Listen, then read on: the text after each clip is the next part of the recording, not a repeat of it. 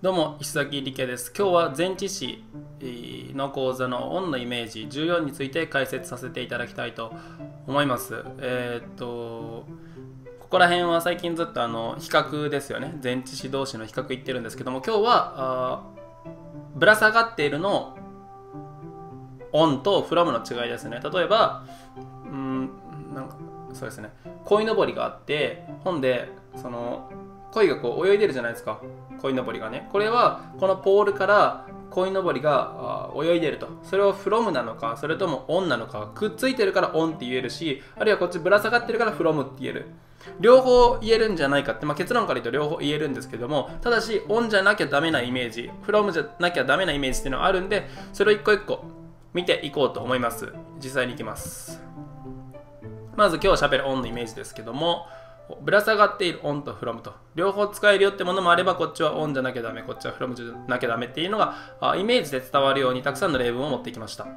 根幹は on ですよ。on の根幹はやっぱりどこまでいっても接触です。接触です。くっついてるってことですね。言葉で理解しようとせずまあ、大量の英文、例文、そしてイメージに触れて、えー、画像に触れて、こうね、体系的なイメージとして脳に定着させてほしいんですよね。これがこうこうこうだからこれはオンはこうねとかね、フロムはこうこうこうだからこうねじゃなくて、えー、オンっていうのはこんな感じ、フロムっていうのはこんな感じ、僕らの日本語で言う女子みたいなイメージね。あの子が好き、あの子、あの子になんだろう、あの子に注目している、あの子を注目しているとかね、まあわかんないけど、まあ、そういう2と5の違いとかね、そういう細かいところをイメージで、えー、定着させてほしいと思います。例文いくんですけども、例えば、さっき言った鯉のぼりね、鯉のぼりだったら、まあ、ハンギングってぶら下がるって意味なんですけども、例えば、ザ・鯉のぼり、あ、ハンギング、オン・ザ・ポールなのか、フロム・ザ・ポールなのかって話なんですよね。オンザポールなのか、それともフロムザポールなのか、両方とも OK です。さっきの映像で言うならね、後で英文じゃなかったイメージ見ていきます。ハンギング、ぶら下がるっていう意味で、例えばリングですね。一つは from the pencil by a string だから、これペンシルじゃないんですよ。これペンやと思ってね。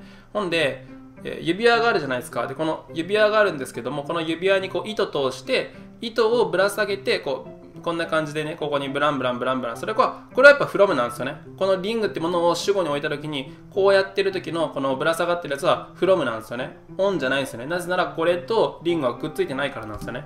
だけども、オンナストリング、例えば、これを糸やと思ってください。これを糸やと思ってください。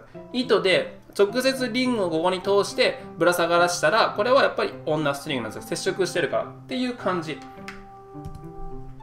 他にまたハンギングの例で言うならば例えばあ from a laundry rack だからこう物干し竿じゃないけどもなんだろうな。洗濯物干しありますよね。あそこから靴下がプランプランプランプランしてるやつ。これは from a laundry rack なんですけども on 使いた on 使いたかったら on the clothes on the clothes pins なんですよ。つまりこれは洗濯バサミですね。わかりますかね？靴下とか干すとき皆さんどうしますか？僕らはこうあのあの、まあ、僕はあの人に任せてるんですけどもこう洗濯物干しがあって、えー、彼女がやってるのは洗濯物干しがあってそこにこう洗濯バサミがありますよねでそこにこうピチって感じでこう靴下ぶら下げるんですよねこれはオンザクローズピンここに焦点を当てるならねただしこのランドリーラックに焦点を当てるならやっぱりフロムランドリーラックなんですよ。靴下がフロムランドリーラックからぶら下がってる。あるいは洗濯バサミからぶら下がってる。この場合はオン使うんですよね。こっちに焦点当てるのはフロムだし、こっちに焦点を当てるのはオンなんですよ。くっついてるから。ライト、えー、っと、光ですね。これは例えば、あまあいいわ、on the ceiling だから、例えば、there is a light on the ceiling だったら、まあライトが天井からぶら下がってる。他の文で言うと、there is a light hanging on the ceiling と hanging from the ceiling 似てるんですけど若干違うんですね。っていうのこの違いを見ていこうかなって思います。実際に英文いきます。じゃなかったら画像いきます。はい、じゃあ見ていこうと思います。えー、ぶら下がっているオンとフラムですね。見ていきましょうか。例えば、鯉のぼりでいって、鯉のぼりはいいんですけども、鯉のぼりはいいんですけども、例えば、ハンギングになった時に、こういうやつですね。これは from でも on でも両方使えますよ。from でも on でも両方使えますよ。まあ、くっついてるイメージなんでね。くっついてる、あるいはぶら下がっている。ポールから、このポールからぶら下がっている。この時はひっついてる、ひっついてるし、かつ同時になんだろうな、ぶら下がっている。まあ、ひっついて、なんて言うんだろう、まあ、from も on も両方使えますよって話ですよね。例えば、あリングですよね。だからこれ、リングってあの、あのリングってきてほしくないですけども from the pencil とかだったらえー、っとね痛々しいなこれねこれ。あ食べてるだけが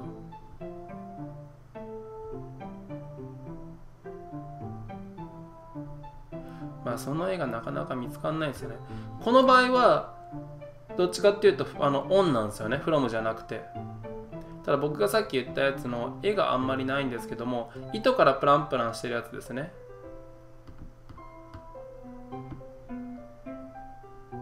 ちょっとないですね。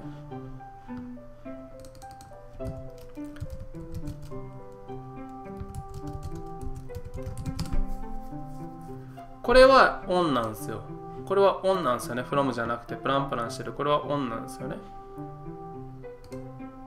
これはやっぱオンなんですよねぶら下がっているっていう時に。これオンなんですよ。これこれオンなんですよねこれは。ただし C じゃただただし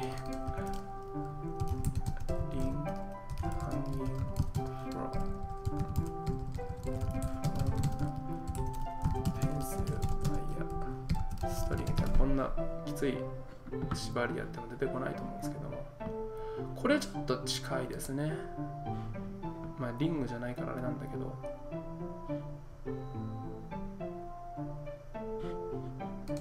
これにねもしこのここの部分にリングがついててこうプランプランさせていたらこれは from なんですよね。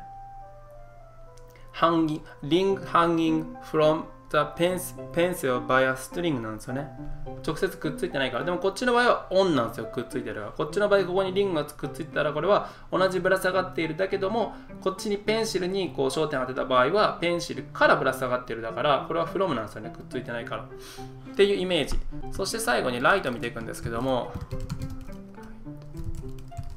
light hanging from the ceiling ってやつとああ、いいですね。これ from ですよね。こんな感じ、さっきのリング、こんな感じなんですよね。これ from なんですよね。Light hanging on the って思うと、まあ、Google 検索すごいなって思うんやけど、これはまだ若干 from なんですよね。本のイメージで言うと、もっとね、これもやっぱ from なんですよね。まあ、on と from どっちでも使えるんですけども、あのね、蛍光灯とかって、僕たちの家にある蛍光灯とかっていうのは本当に on のイメージなんですよね。ピタッとくっついてる感じ。例えばこの蛍光灯、この部分。この部分とかは from じゃなくて on ですよね。まあ、on と from どっちでも使えるんですけども、on だったら、あ、from だったら若干こうぶら下がってる感じ、距離があるイメージなんですよね。from の場合だったら、なかなか出てきてくれないんですけども、まあ、蛍光灯ってぶち込めばそのまま出てくるんですけども、これはもう思いっきりあの、オンの方ですね。天井にくっついてるから。だから、ハンあ light hanging on the ceiling なんですよね。まあ、若干これぶら下がってるから from っぽいですよね。蛍光灯っぽいのはやっぱり全部違うけど、出てきたわ。これ、オンなんですよね。くっついてるから。で、こっちはフロムなのはなんとなく分かりますが、距離があるんですね。えー、っと、これがオンとフロムの、ぶら下がっているオンとフロムの違いでした。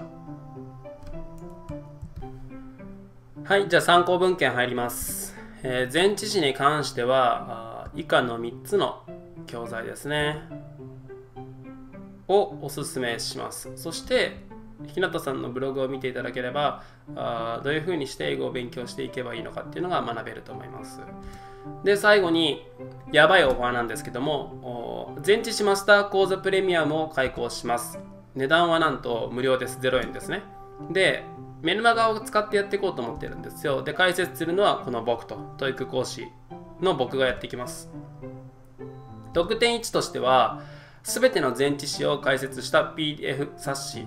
あのプリントアウトしてくれればそれがあの後でホッチキスで止めたら冊子になるんでね、えー、まあ忙しい通学通勤中もぼーっと眺めるだけ。あのわざわざ考えなくていいんですよね。考えなくていいって言ったらなんか思考停止状態みたいな感じだけどこれイメージの勉強だからむしろ絵として捉えてほしいんですよね。絵として捉えてほしいんですよ。だからこうロジカルに理解しようっていうよりもオンのイメージはこんな感じみたいな。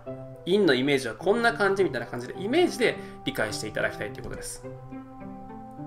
得点2、えー、吐血式懲罰スパルタ英会話。これは簡単じゃないんですよね。ひどいんですよね。吐血式って書いてあるから血吐かなきゃいけないんですけども、まあ、血吐く必要なんですけど、メタファーですね。血吐くぐらい、えー、ちゃんとやろうと、スパルタでやろうと、その代わり必ず身につけようっていう英会話の方法をお教えしていきます。これは3時間の自己紹介をま乱記するってやつですね。それだけですね。